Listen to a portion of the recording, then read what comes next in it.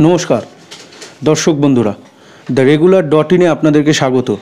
এই মুহূর্তে আমরা চলে এসেছি কল্যাণীতে ডাক্তারবাবু ডক্টর কে কে মুখার্জির বাড়িতে। ওনার সাথে আমরা আজকে কথা বলে নেব। আজকে সাতই এপ্রিল, বিশ্ব স্বাস্থ্য দিবস। সেই উপলক্ষে ওনার থেকে আমরা কিছু পরামর্শ নিয়ে নেব। এই যে বিশ্বজুড়ে যে একটি মহামারী, করোনা ভাইরাস সেই সম্পর্কিত কিছু তথ্য আমরা ওনার থেকে জেনে নেব।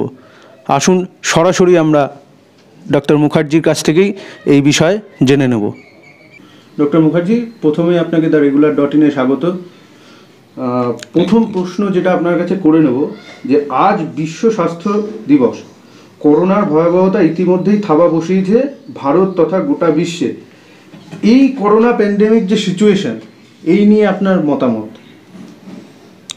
করোনা প্যান্ডেমিক এখন ইউরোপিয়ান কান্ট্রি এবং আমেরিকার এত উন্নত দেশগুলোকে একেবারে কাঁপিয়ে তুলেছে।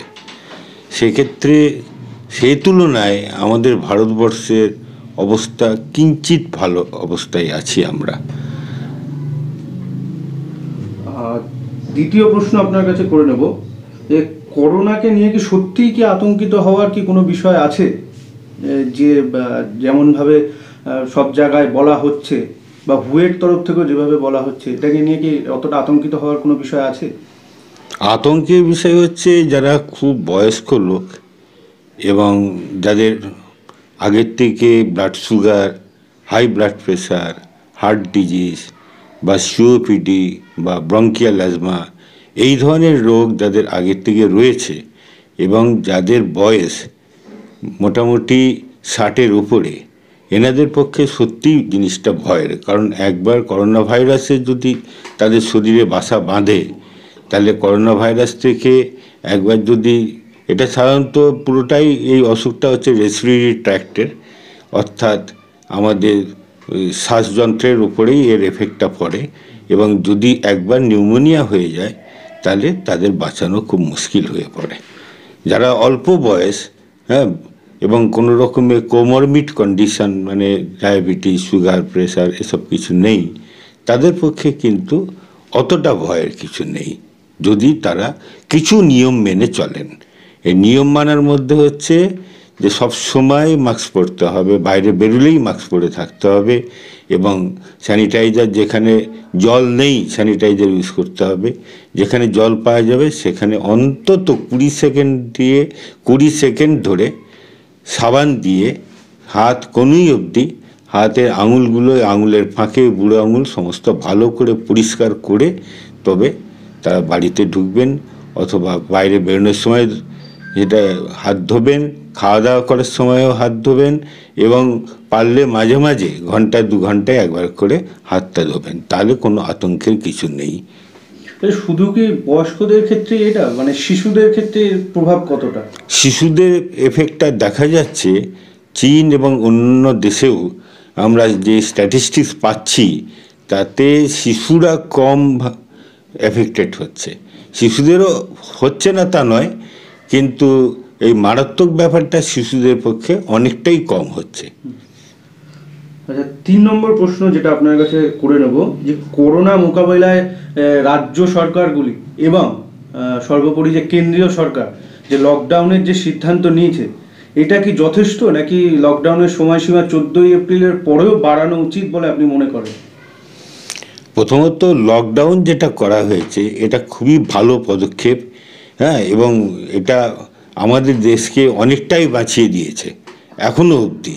কিন্তু এখন যা পরিস্থিতি, প্রত্যেক দিন দেখা যাচ্ছে দিনে দিনে সংখ্যাটা বেড়ে যাচ্ছে।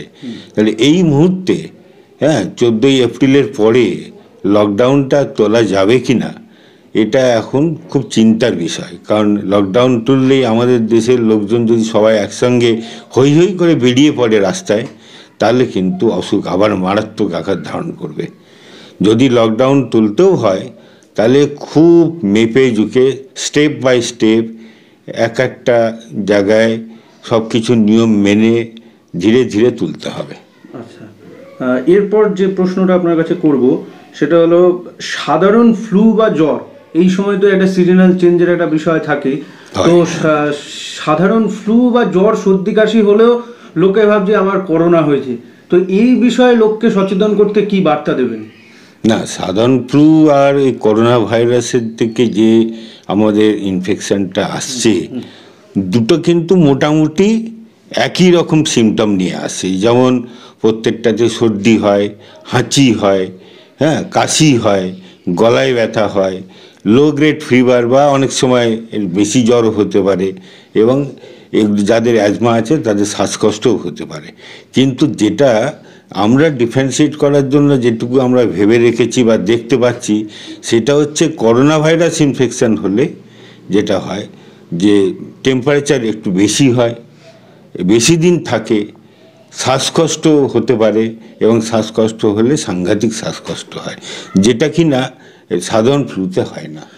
লোকে সাধারণ মানুষের ডিফারেন্সটা করবে কি করে বা কি করে বুঝবে যে আমার করোনা উপসর্গ দেখা দিচ্ছে, এটা কি করে বোঝা যাবে? বা কতদিনের মধ্যে এই সিমটমসগুলো বোঝা যাবে? প্রথমত প্রথম সাধারণ ফ্লু যদি হয় সেটা দুদিন তিন দিন ম্যাক্সিমাম চার দিনের মধ্যে সেরে যায়। সেরে সেরে যায় এবং সেক্ষেত্রে গলা ব্যথা একটু একটু হয় সামান্য কাশি হয় হাঁচি সর্দি কাশি সামান্য জ্বর নিজের থেকেই সেরে যায়। কিন্তু যদি করোনা ইনফেকশন হয় তাহলে দেখা যায় যে এই গলা ব্যথাটা বেশি দিন থাকে জ্বরটা বেশি দিন থাকে কারও কারও শ্বাসকষ্টটা অনেক বেশি থাকে। এর থেকে উপসর্গ হ্যাঁ এই থেকে আমরা সন্দেহ করি যে তাকে জিজ্ঞেস করা হয় যে আপনি বিদেশে গেছিলেন কিনা বা বিদেশ থেকে কেউ এসেছে তার কন্ট্যাক্টে এসেছিলেন কিনা বা করোনা হয়েছে এই রকম কারও কাছাকাছি আপনি ছিলেন কিনা এই ধরনের যদি কোনো হিস্ট্রি পাওয়া যায় তখন আমরা সন্দেহ করি যে এরও করোনা থাকতে পারে। আচ্ছা শেষ প্রশ্ন ডাক্তারবাবু আপনার কাছে করে নেব যে আজকের বিশ্ব স্বাস্থ্য দিবস উপলক্ষে সাধারণ মানুষকে যদি কিছু বার্তা দেন আপনি। বার্তা একটাই স্টে অ্যাট হোম যতটা সম্ভব অকারণে বাইরে বেরোবেন না। যদি আপনার বাজার করার দরকার থাকে, ওষুধ আনার দরকার থাকে, সেটা এক সপ্তাহের বাজার একদিনে করার চেষ্টা করুন। রোজ রোজ থলি নিয়ে বাজারে যেতে হবে না। এবং যতটা সম্ভব লোকের থেকে ছোঁয়াচে বাঁচিয়ে অন্তত এক দেড় মিটার ডিস্টেন্স রেখে রেখে কাজ করুন এবং বাইরে যাওয়ার সময় মাস্কটা অতি অবশ্য ব্যবহার করুন। বাইরের থেকে এসে, বাড়ি ফিরে এসে প্রথমে কোনো থেকে আঙুল, সমস্ত আঙুলের খাঁজ অবধি ভালো করে অন্তত আধ হাফ মিনিট মানে তিরিশ সেকেন্ড দিয়ে সাবান দিয়ে ধুয়ে তারপর বাড়িতে ঢুকুন। এতে আপনার ইনফেকশনের চান্সটা অনেকটাই কমে যাবে। ধন্যবাদ ডক্টর মুখার্জি আমাদের সাথে কথা বলার জন্য আপনার মূল্যবান সময় আমাদেরকে দেওয়ার জন্য। আচ্ছা থ্যাংক ইউ আমরা কথা বলে নিলাম। ডক্টর কে কে মুখার্জির সাথে। উনি কিন্তু এই করোনা ভাইরাস সম্পর্কিত যে যে সতর্ক বার্তাগুলি রয়েছে বা যে যে প্রিকশনসগুলো আমাদের নেওয়া উচিত, সেগুলো কিন্তু আমাদেরকে খুব সুন্দরভাবে ব্যাখ্যা করে বুঝিয়ে দিলেন। আপনাদের কাছেও আমাদের দ্য টিম রেগুলারের পক্ষ থেকে একটাই আবেদন থাকবে, এই লকডাউনের মধ্যে অযথা বাইরে বেরোবেন না, লকডাউনকে কোনো মতেই হালকাভাবে নেবেন না, লকডাউনকে গুরুত্ব সহকারে মান্যতা দিন।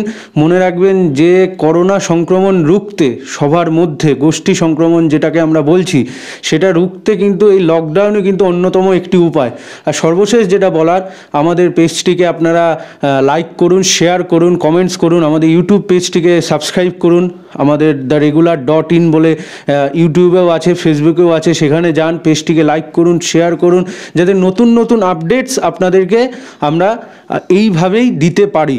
ক্যামেরা পার্সন সুমন এবং রাজদীপের সাথে আমি Akash. The regular dot in Kalyani.